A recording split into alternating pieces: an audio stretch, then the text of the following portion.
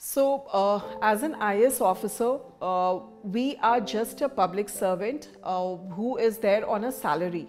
So, we are a salaried class people uh, to start with. I think it's more uh, to do with some recent glamorization that has happened. Otherwise, we are a very simple uh, salaried class people, so to speak. Yes, when you rise up the ladder, say at the level of collector, you might get a big bungalow, you might get a car you might get some staff at your home. But uh, having said that, at the same time, you do not have the time to even enjoy it uh, or to take um, you know advantage of it, so to say. Uh, and also, I would say that uh, that house uh, is needed for the family to carry on with the sternness and the long hours that you put in in this service.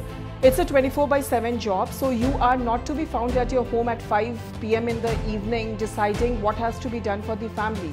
So at least they should get a place, um, uh, environment wherein uh, they are taken uh, care of and so that we can mentally be free of all these things and to, uh, just concentrate on our work. For all the aspirants out there, I would just like to say that uh, dream to be uh, whatever service officer you want to be but once you dream it, be very clear in your mind that why you want to be that.